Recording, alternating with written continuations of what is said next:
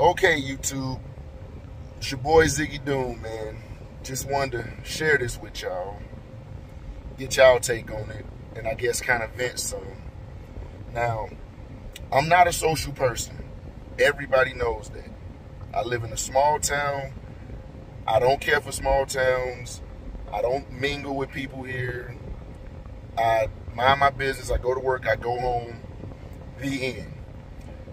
So people, a lot of people here don't know me. But the people that do know me actually know me and not just seen me walking somewhere. They will tell you that I'm an okay person. I'm not out here in the streets being belligerent or like complaining or making loud noise. I don't even curse. Like I don't even be cursing. So the people that know me in this little town will tell you that I'm an okay person. People that don't know know me, I don't know. I also know that I do fit a certain description. I'm completely aware of that. If someone doesn't know me and they small town minded, they probably look at me and think the worst. Oh, he's probably a criminal or just released from prison or or a vagrant or drinks, smokes, and hangs out, doesn't pay his bills, doesn't take care of You know, I get that, right? I fit that description for whatever reason in, in this small town. People that don't know me. So I, I take my daughter to volleyball practice. Yes, people that fit this description can take their children to volleyball practice and be there with them. The practice is an hour, so it didn't make sense for me to drop her off at the practice and then leave when it's for an hour. So I sit there with her during her practice. Now, there's no one else sitting around, right? There's no one else sitting in the bleachers at this practice.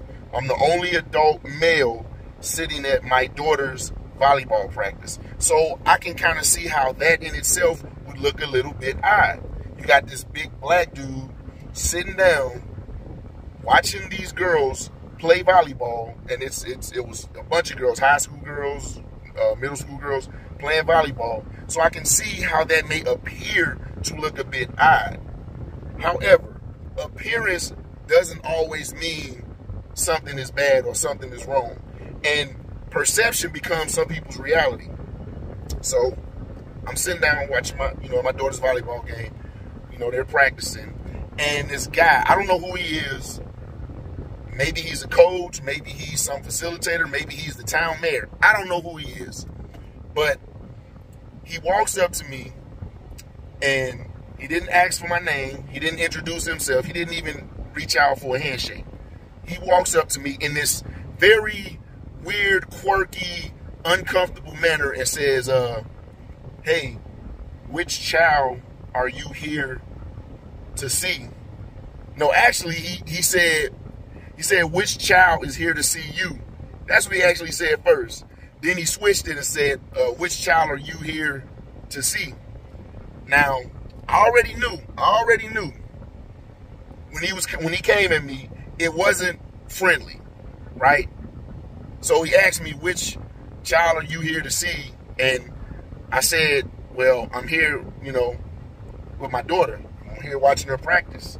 I said it'd be kind of odd and strange if I was just sitting here, not related to anyone, watching these girls practice, don't you think? And then he, he, he goes, yeah. So now he's trying to make small talk, but it's not the small talk that you make when you're trying to get to know somebody. It's the small talk you make when the moment is awkward and you don't really care about the person that you're talking to, but you don't want to just walk off and make it seem like you clearly wasn't viewing them a certain way. So then he asks questions uh, is it the, the, the middle school or the high school? And I'm thinking to myself, you know that it's not the high school. You was just out here with the high school girls. We got there a little early, and the high school girls, I guess they practiced early, so we were there a few minutes early, sitting there waiting for the high school girls to finish. So you know it wasn't one of those. So now you're trying to make small talk for no reason at all. So I just stopped talking and just continued looking at my phone, and then he, he walks off here's the thing, right? I, I try I try so hard not to bring race into stuff, right? Because everyone thinks that oh it, it's not, you know, you're just trying to bring race, yada yada yada. And and like I said, this is a small town. These people are either related or they've known each other all their life. Most of them probably never left here, so they they small town minded, right? They don't really understand certain things. And I've lived here for over a decade, and I haven't had any major altercations with anyone because I mind my business. I don't interact, I don't socialize, I don't hang out in nobody's house. I go to work, I go home. The end. So the fact that he came to me asking that question, it wasn't as an introduction. It was clearly because he felt some kind of way about me sitting there. Now, if he would have, after he had the stuff, he said, hey, you know, uh, we just want to make sure that there's no no no strange stuff going on with adults and kids because you know we have to protect. I get all that. If he would have said that, but his introduction clearly he already had me pegged a certain kind of way. He, like I said, he didn't introduce himself. Hi, my name is. What's your name? He didn't offer to shake my hand, which is fine. He went directly to that question. Now, people can say, "Oh, it's no big deal. It's nothing," right? Like, "Oh, you you being over dramatic." That, that's cool. My only my only concern or care is had I been had I not looked this way, had I looked another way, and I'm sure y'all, you know, can can guess what that other way means.